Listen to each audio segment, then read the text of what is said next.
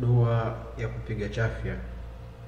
Amesema Mtume sallallahu alayhi wasallam, pindi anapopiga chafya mmoja wenu, basi na aseme alhamdulillah, sifa zote njema ni milki ya Allah, na amwambie ndugu yake kumwambia aliyepiga chafya, yarhamuka Allah, Allah akurehemu.